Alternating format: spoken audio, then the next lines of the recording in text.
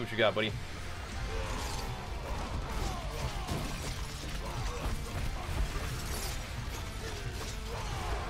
Could be a gnarly pop on him. JK. This was not a gnarly pop at all. Well, there was one. See ya.